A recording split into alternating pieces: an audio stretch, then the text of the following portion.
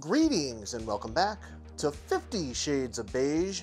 Today I've got a special video. This is going to be a super quick one, so sorry for the mess and everything. We're going to hop right into it. I was watching Phil's Computer Lab uh, last Tuesday, and he had mentioned that he was interested in how to get a capture card working on a mini PC. And being the evangelist of jank that I am, I just couldn't help but make a video on how to do that because it's really not as cut and dry as it is for eGPUs. Generally, eGPU docks are going to come with some sort of a power supply or expect you to plug in an external power supply over here. That's because our M.2 slot definitely cannot put out 70 watts and it's going to be missing some voltages more than likely. And I say more than likely because this is where things get a little crazy. So I wasn't able to find any solid info on this, but I did come across this Sabrent Informer blog post from 2022 where they talk a little bit more about how NVMe drives work with power delivery on M.2 slots and so on and so forth. And you can see here they have this interesting p-state table which they did source from NVM Express, but unfortunately this link is dead. Uh, and I thought it was interesting that they have maximum power listed here at p-state 0 25 watts. And I know this is purely hypothetical, but that is kind of interesting to see because I'm not aware of any NVMe drives that draw quite that much wattage yet. And you can see down here, this is what I'm talking about. It says a normal maximum for M key is about 11.5 watts.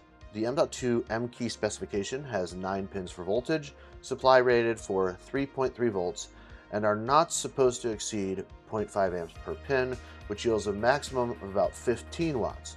This will become doubled with the new M.2 1A standard, so on and so forth. High-end, capacious M.2 NVMe drives can pull more than this, and there is no firm limit, but drives are designed to run within reason, right?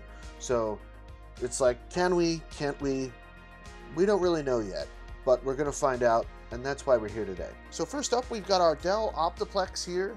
This is a 9020 model. It's got a Core i5 9500T in it, six cores, six threads, really nothing special. Now I hear you say, well, shades, why don't you just use one of those cheap USB capture cards? I mean, those work fine. And to that I say, yes, they do work fine. However, they're not ideal for every situation. Um, a, they're not super reliable. They're, they do not like certain resolutions.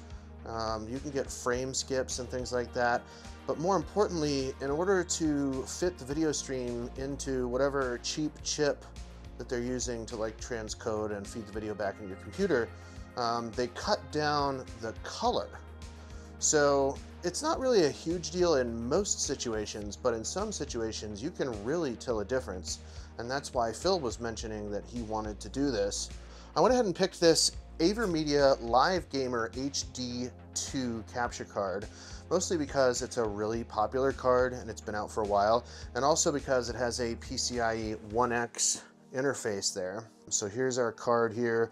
Inside the box, we just have an aux cable for audio, HDMI cable, a couple of things in case you need help setting things up, and so on and so forth. This is not a capture card setup video, but we will do like a brief tutorial on how to set this up, assuming that it works.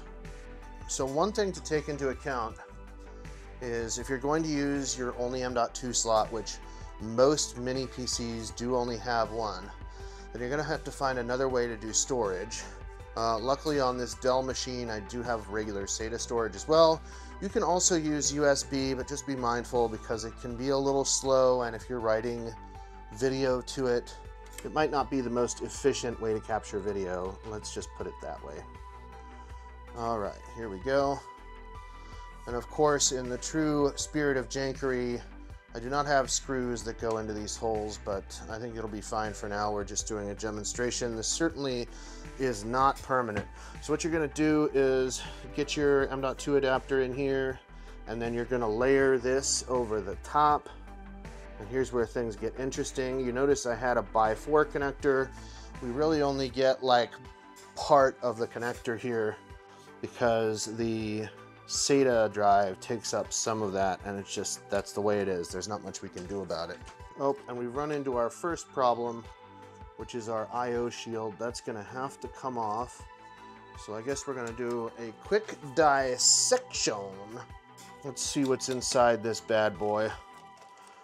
I can't be the first person to take one of these apart. By the way, if you're new, in, new to the channel and you want to see more of this type of content, I have several videos where we've done this sort of thing with mini PCs. We like to stick to a budget here at 50 Shades of Beige. So that dictates that sometimes we do less than advisable things with computers, and we like it. This is really for advanced cooling features. That's why we're taking this apart. We want to make sure that our capture card is cooled to the max. We don't need this stinking thing. It's just a restrictor plate at this point. Now, just a reminder, best practice dictates that you keep track of all your screws and you do this on an anti-static mat. I do this type of thing all the time, so I'm not terribly worried about it. I've got my screws over here. I know which ones go where. I'm not, I'm not too scared to uh, leave that stuff there. But if you're doing this on your own, be sure to keep track. Alrighty, and just like that, we're in like Flynn. This is going to be our setup here. It is particularly jank. Okay, I've got everything plugged in here. I'm just going to try an internal capture first. Um, I'm more interested to see whether or not we can survive without adding power from an external power supply. Because if you need to add an external power supply, that's going to change the scope of your project considerably. So let's take a look. So far, it's not looking promising. The LEDs here are not coming on. And that would actually add up because those LEDs probably require 5 volts. Oh, nope, there they go.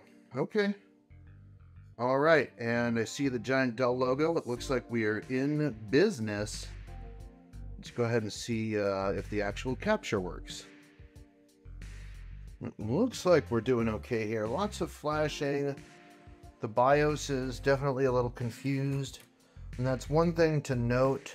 Um, if you're working with a machine that uses M.2 primarily for storage, which most machines will, um, you're going to want to turn off the option to boot from M.2 entirely. Uh, otherwise, a lot of times the BIOS will get hung up trying to boot because it sees there's a device there and it thinks, oh, it must be a drive, it must be able to boot off of this thing, but in reality, obviously it can't. So just bear that in mind. You might need to play around with your BIOS settings a little bit in order to get to a point where you can actually boot into Windows. All right, we've got uh, the capture card basically set up as a pass-through right now just to do a test, and it looks like we're all good to go we successfully booted without a problem and we're here in Windows now. And if I open up OBS Studio, yeah, it's going to give me that error, but let's see what we've got real quick.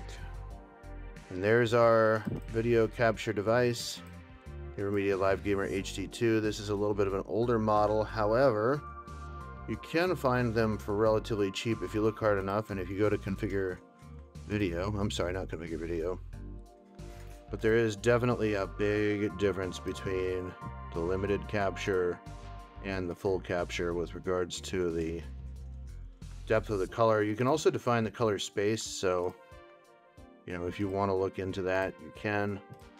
But this card should give you all your color options that you're looking for.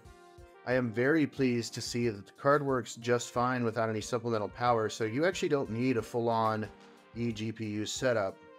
Now there are other types of M.2 to PCIe adapters you can use. Some of them have different types of cables and extenders and things like that. Like this one basically is similar to what we're using, but it has this cable that runs off of it. These cables are extremely expensive and very fragile, so bear that in mind. You're basically hooking a PCIe riser cable into an M.2 slot, so just be careful there. Um, I don't recommend going any further than 20 centimeters. I know they sell an 80 centimeter version for $118, which is just insane to me because PCIe does not deal well with high latency. And the longer that cable gets, the more latency and signal loss you're going to have. Now, alternatively, you can find something like this, uh, this ADT PCIe 4.0 M.2 key. I have something similar to this. I did not pay $20 for mine. I think that's kind of insane. I literally paid $1.50 for my adapter and I'll have it linked below. Um, but if you want something that's a little more secure, maybe higher quality than what I'm using, this is a good option as well.